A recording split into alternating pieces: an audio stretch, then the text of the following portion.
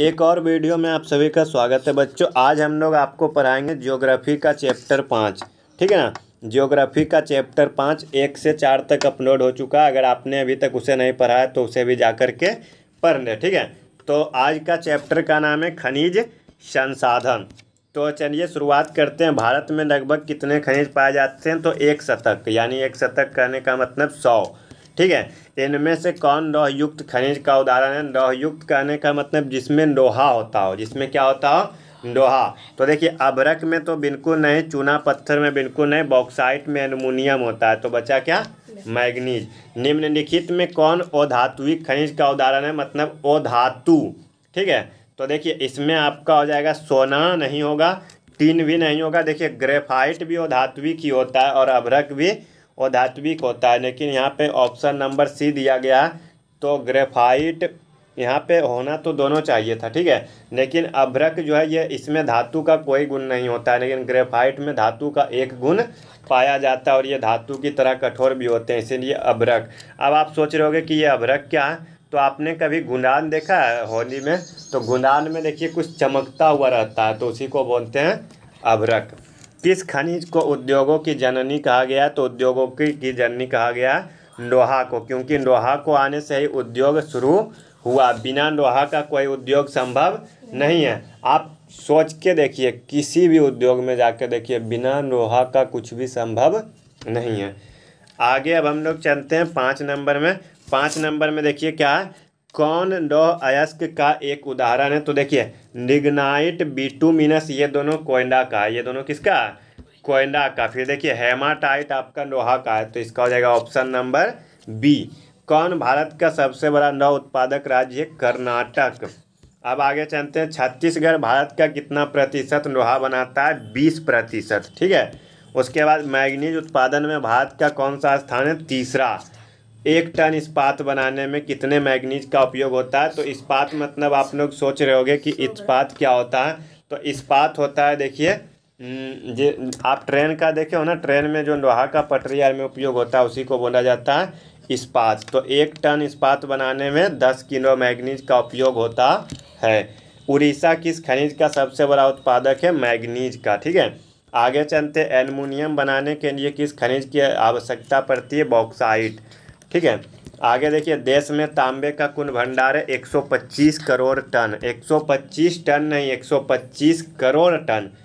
बिहार, झारखंड में देश का कितना प्रतिशत अभ्रक का उत्पादन होता है? अस्सी प्रतिशत। देखिए, बिहार में तो एक ही अभ्रक पाया जाता है, थोड़ा बहुत अभ्रक मतलब बिहार में तो एक ही खनिज पाया जाता है, वो भी क्या? अभ्रक ठीक है?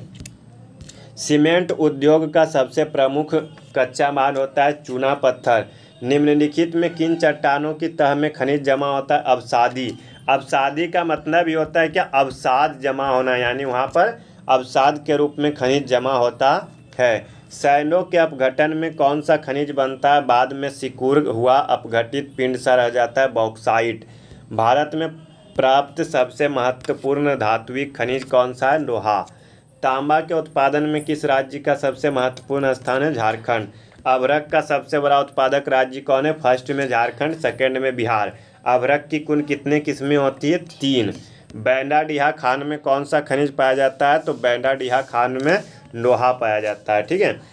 कटनी खनिज प्राप्ति स्थान किस राज्य में? अगर देखिए, आप मध्य प्रदेश में कभी गए होंगे, या अगर आप बिहार से कभी महाराष्ट्र की तरफ़ गए होंगे मुंबई तो आपको बीच में ये सभी शहर आएँगे मध्य प्रदेश में, जबलपुर, सतना, कटनी, खंडवा तो ये सभी आपका कहाँ है? मध्य प्रदेश में। अब आगे चलते हैं, ट्वेंटी थ्री नंबर में।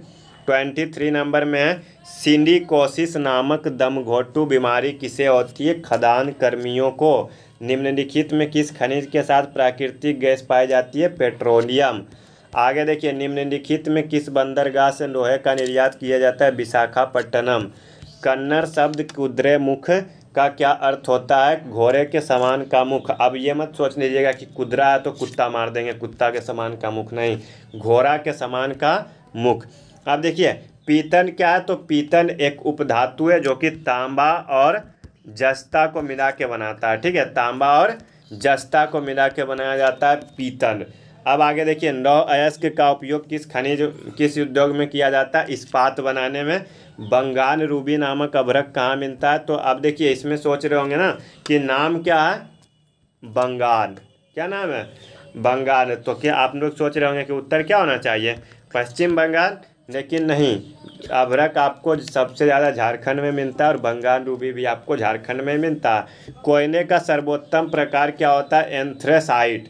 दूसरा निग्नाइट तीसरा बिटुमिनस और चौथा पीट यानी कोयला चार प्रकार के होते हैं, ठीक है? जिसमें कि सबसे बढ़िया होता है एंथ्रेसाइट फिर निग्नाइट फिर बिटोमिनस और चार में पीट एक में एंथ्रेसाइट दो में लिग्नाइट, तीन में बिटुमिनस और चार में पीट तो इस प्रकार से देखिए, हमारा कौन सा चैप्टर हो चुका है आज?